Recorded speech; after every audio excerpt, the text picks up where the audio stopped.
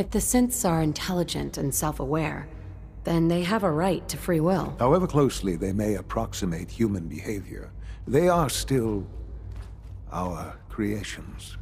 When you see what I have to show you, I think you'll agree that we know what is best for our synths. A rogue synth has taken over the Raider gang at Lip. His memories have been under his leadership. I've dispatched. We'll bring that synth home. That would be best for everyone.